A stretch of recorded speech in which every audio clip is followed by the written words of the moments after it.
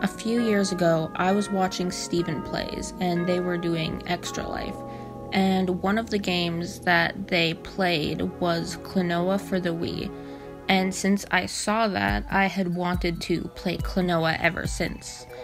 And looking for the game, the original one, I saw that the prices were way too high and, you know, kind of gave up for a bit.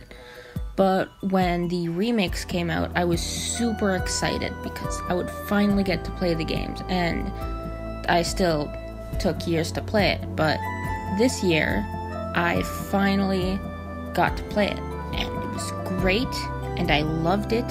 So I made fan art, and here it is. Also, I forgot about his tail, so, uh, whoops.